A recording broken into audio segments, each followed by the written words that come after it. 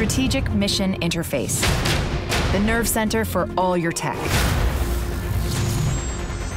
Data transmission, drone control, scanning, backdoors in the foreign ELIN systems. And that's just for starters.